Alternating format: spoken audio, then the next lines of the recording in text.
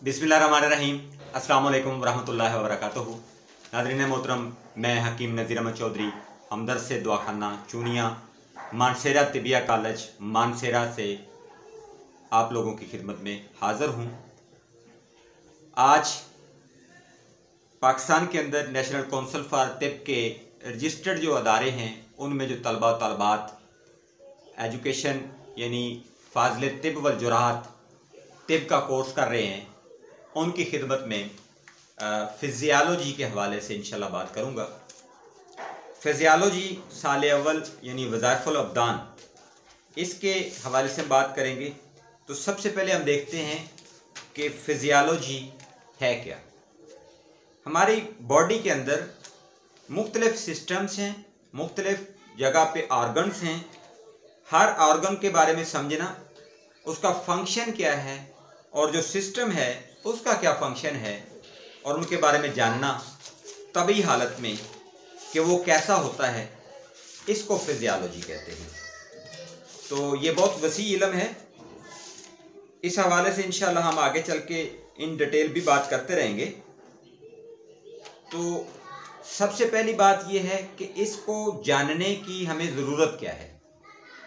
चूँकि हम इल्म तिब को पढ़ रहे हैं तिब यूनानी को पढ़ रहे हैं तो जब तक कोई भी तबीब या तिब को सीखने वाला तालब इलम, जब तक उसको ये नहीं पता होगा कि बॉडी के अंदर कौन कौन से सिस्टम हैं और कौन कौन से ऑर्गन्स हैं, उन ऑर्गन्स का काम क्या है, उनके फ़ंक्शंस क्या हैं तभी हालत में, और फिर अगर वो गैर तभी होंगे तो फिर उनमें क्या प्रॉब्लम्स आएँगे?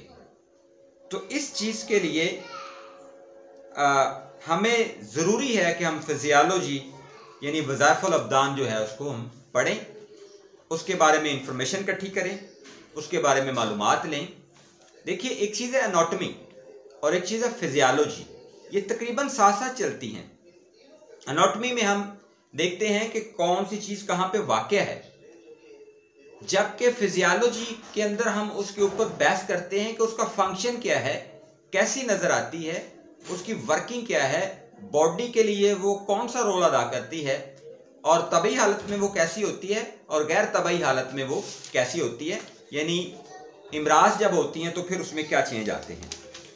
तो इसमें इन अज़ीज़ आप लोगों के सामने मैं वो तमाम तर चीज़ें जो है वो रखूँगा। वज़ाइफ़ुलअबदान यानी फिजियालॉजी में। इसमें हम डिफरेंट एज़ा के बारे में, यानी ऑर्गन के बारे में स्टडी करेंगे। इसके अलावा हम यहाँ पे स्टडी करने जा रहे हैं जी फिजियालॉजी में कि आपकी बॉडी के अंदर जो निज़ाम खून के अंदर सेल्स हैं वो क्या काम करते हैं सेल्स की टाइप्स क्या हैं? इसके अलावा हम हड्डियों के निज़ाम के हवाले से भी यहाँ पे देखेंगे।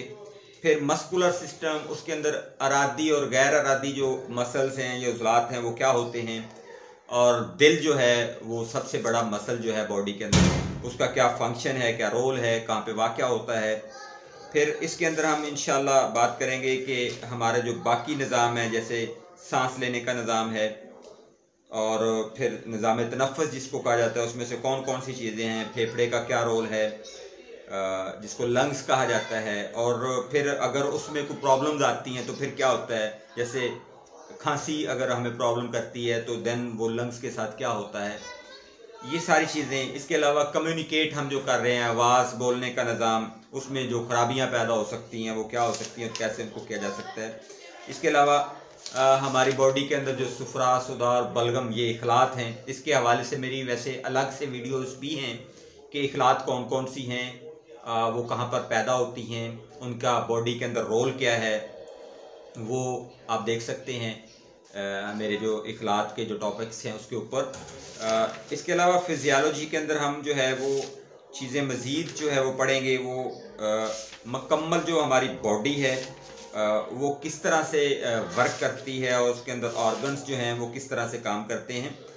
तो सबसे पहले अगर हम बात करें इस लेक्चर के अंदर चूँकि हमारा ये आगाज़ी लेक्चर है तो फिज़ियालॉजी के अंदर ह्यूमन बॉडी के अंदर जो सिस्टम काम करते हैं, वो कौन कौन से होते हैं, उसमें डाइजेस्टिव सिस्टम है जी। नंबर टू पे हमारा ब्लड सर्कुलेटरी सिस्टम है। नंबर थ्री पे रेस्पिरेटरी सिस्टम है, जो कि सांस का निज़ाम तनफ़ जिसको हम कहते हैं। इसके अलावा निज़ाम अखराज है एक्स्ट्राटरी सिस्टम यानी जो हमारी बॉडी से अखराज होता है, पसीने की सूरत में, पेशाब की सूरत में, या फिर स्टूल की सूरत में, वो क्या हो सकता है। इसके अलावा हमारा स्केलेटल सिस्टम है, यानी हड्डियों का निज़ाम है। वो पूरा ढांचा बंदे की बॉडी का जो स्ट्रक्चर फ्रेम है, इसके अलावा मस्कुलर सिस्टम यानी हमारे बॉडी के अंदर जो मसल्स हैं, वो हम पढ़ेंगे। इसके अलावा नर्वस सिस्टम जो है, हमारा जो नैरो का निज़ाम है उसके हवाले से हम इंशाल्लाह पढ़ेंगे। और इसके अलावा रिप्रोडक्टिव सिस्टम यानी निज़ाम तलीद वो क्या चीज़ है? तो यहाँ पे हल्की हल्की इनकी मैं डेफिनेशन आप लोगों के सामने रखता हूँ। तो फ़र्स्ट ऑफ़ ऑल है जी निज़ाम निज़ाम यानी डाइजेस्टिव सिस्टम हम कोई भी चीज़ खाते हैं या पीते हैं, वो पूरा निज़ाम जो है वो किस तरह से होता है? सबसे पहले हमारे मुँह के अंदर हम किसी भी चीज़ को जब डालते हैं, चबाते हैं उसको तो दांत हमारी उसमें सपोर्ट करते हैं। हमारी टांग उसमें सपोर्ट करती है, यानी ज़ुबान। इसके अलावा गले से नीचे एसोफेगस में से होता हुआ, यानी खुराक की नाली में से होता हुआ स्टोमिक के अंदर पहुँच जाता है, यानी मैदा के अंदर पहुँच जाता है। और फिर मैदे से वो ही जो चीज़ है जो हमने खाई है, वो कलूस जो है वो हमारी उसमें पहुँच जाता है छोटी आंत में और छोटी आंत से फिर बड़ी आंत में और फिर जो है वो बड़ी आंत के बाद रेक्टिम में वो जो फुजला होता है वो पहुँचता है और वहाँ से जो फ़ूड पार्टिकल्स की जो हमारे न्यूट्रिशन न्यूट्रेंट्स हैं, वो वहाँ से निकलते हैं और वो कमूस में कन्वर्ट होकर जिगर में चले जाते हैं। और फिर जो फुजला है वो रेक्टम में स्टोर होता रहता है और फिर जब वो भर जाता है तो फिर वहाँ से अनस के ज़रिए वो खारिज हो जाता है। तो ये डाइजेस्टिव सिस्टम है, जिसमें निज़ाम निज़ाम जिसको हम कहते हैं। नंबर टू पे है जी निज़ाम दौरान खून। तो निज़ाम दौरान खून में बेसिकली जो है उसमें ऑक्सीजन जो है, वो हम इनहेल करते हैं और कार्बन डाइऑक्साइड जो है उसको खारिज करते हैं। इसके अलावा इसमें जो निज़ाम दौरान खून है, उसमें दिल अहम रोल अदा करता है, फिर लंग्स अहम रोल अदा करते हैं, हमारे किडनीज अहम रोल अदा करते हैं। हमारा लीवर अहम रोल अदा करता है। तो ये कहाँ कहाँ पे क्या क्या फ़ंक्शंस हैं, ये इन डिटेल आगे जाके बात करेंगे। यहाँ तक हम निज़ाम दौरान खून की जो बात कर रहे हैं तो उसमें ये है कि हम जो हमारा खून है, वो किस तरह से पूरी बॉडी के अंदर सर्कुलेट करता है, उस हवाले से है। इसके अलावा हमारा जो रेस्परेटरी सिस्टम है, यानी हमारा निज़ाम तनफ़स इसमें सबसे जो अहम रोल है जी वो लंग्स का है।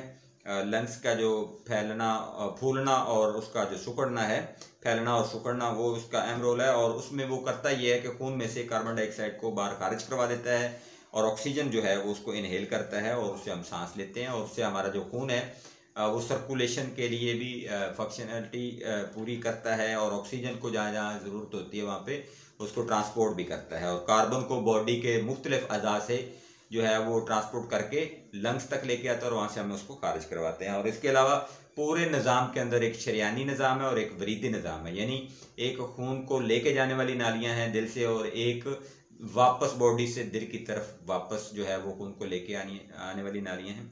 तो ये इंशाल्लाह आगे हम इन डिटेल बात करेंगे। तो यहाँ पे चूँकि निज़ाम तनफ़स की बात है तो निज़ाम तनफ़स में हमारा जो है वो लंग्स का अहम रोल है। यानी ऑक्सीजन इनहेल करना और कार्बन डाइऑक्साइड को खारिज करना। इसके अलावा निज़ाम अखराज है। हम जो भी चीज़ खाते हैं, देखिए कोई भी हम रॉ मटेरियल से जब कोई भी चीज़ बनाते हैं, कोई भी हमारी आइटम बनती है तो उसके कुछ ना कुछ जो है वो फजलात जो हैं वो होते हैं, जो कि उस सिस्टम के लिए नागज़ीर होते हैं, उनको हमें जो है वो एक्सटोर करना पड़ता है, उनको निकालना पड़ता है। तो इस तरह से हमारी बॉडी के अंदर जितनी भी गैर ज़रूरी चीज़ें केमिकल्स या फिर वो चीज़ें जो कि हमारी बॉडी के लिए नुकसानदेह हैं, जिसको हम फजला समझते हैं। जिस तरह से अगर हम यूरन की बात करें तो यूरन में कई ऐसी चीज़ें हैं जो कि खून से निकल कर किडनी के ज़रिए फ़िल्टर होकर, फिर वो पेशाब की नाली के ज़रिए जो है वो खून से खारिज होती हैं। अगर वो खून से खारिज ना हों तो फिर उससे हमें बहुत से मिसाइल जो है वो पैदा होना शुरू हो जाते हैं। जिस तरह से एल्बुमिन का लेवल बढ़ना यूरिक एसिड का हो जाना प्रोटीन का बढ़ जाना, ये बहुत सी चीज़ें हैं, इसके ऊपर हम अलग बात करेंगे। जब हम जाएँगे डायग्नोजेशन के ऊपर या डिज़ीज़ के ऊपर। इसके अलावा जी स्केलेटन सिस्टम है तो स्केलेटन सिस्टम हड्डियों का निज़ाम है, जिसमें हमारी बैकबोन है, हमारे हाथों की, हमारे पाँव की हड्डियाँ हैं, हमारा पूरे बॉडी की हड्डियाँ हैं, और फिर उसमें कुछ करियाँ भी हैं यानी वो लचकदार हड्डियाँ, बारीक हड्डियाँ, जैसे नाक की हड्डियाँ हैं ये इंशाल्लाह आगे जाके हम बात करेंगे। इसके अलावा है जी हमारा मस्कुलर सिस्टम तो मस्कुलर सिस्टम वो सिस्टम है जो कि हमें हरकत हमसे करवाता है।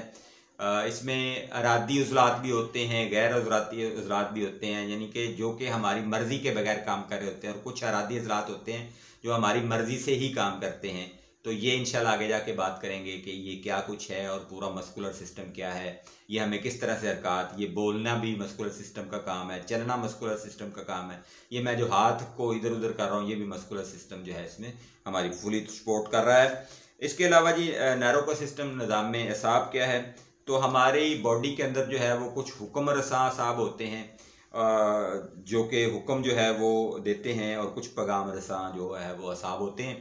तो इसके अलावा इसके अंदर जो है वो पूरी बॉडी के अंदर जितनी भी हिस्से हमारी हैं, सूंघने की, चखने की, बोलने की, देखने की, ये सारी जो है वो मस इसमें निज़ाम असाब में आती हैं। तो इसको भी इंशाल्लाह हम देखेंगे। इसके अलावा जो है वो रिप्रोडक्टिव सिस्टम यानी तलीदी निज़ाम जिसमें मेल और फीमेल मिल के एक नई नस्ल को जो है वो बनाते हैं तो ये निज़ाम कैसे काम करता है? जो मर्द का तलीदी निज़ाम होता है, उसके अंदर कौन कौन से पार्ट्स होते हैं और उनका फ़ंक्शन क्या होता है? और इसके साथ साथ फीमेल के अंदर जो तलीदी निज़ाम है, उसमें कौन कौन सी चीज़ है कौन कौन से अज़ा या ऑर्गन्स हैं और उनके अंदर कौन कौन से फ़ंक्शंस होते हैं और किस तरह से जो तलीद का अमल है, वो आगे चलता है। तो इसके ऊपर इंशाल्लाह मज़ीद डिस्कस आगे आने वाले लेक्चर्स के अंदर करेंगे। तो आज का जो पहला लेक्चर था फिजियालॉजी के ऊपर वज़ाफ़ुलबदान के ऊपर ये आपके सामने मैंने रखा है। इन आइंदा आने वाले दिनों में मज़ीद लेक्चर्स भी आपकी खिदमत में पेश करता रहूँगा। मुझे बड़ी उम्मीद है कि जो तिबिया कॉलेज हैं, वो मेरे ये तमाम वीडियो लेक्चर्स जो हैं, वो अपने अपने प्लेटफॉर्म पे इनको यूटिलाइज़ भी करेंगे। अगर उनके कोई चैनल्स हैं या फिर अगर उनके कोई सोशल मीडिया के चैनल्स हैं वो अपने जो तलबा और तलबात हैं, उनको ये पैगाम भी देंगे कि ये वो सोर्स है जहाँ से आपको चीज़ों को समझने में और बासानी सीखने में मदद मिल सकती है। मुझे अपनी दुआ में याद रखिएगा, अपना बहुत सारा ख्याल रखिएगा। फ़ीमान अल्लाह हाफिज़।